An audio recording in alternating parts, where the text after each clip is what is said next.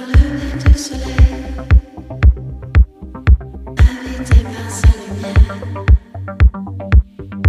où nos secrets disparus, pendus dans le ciel, en bouche d'ici à on sait que tout ira bien. Le père du soleil.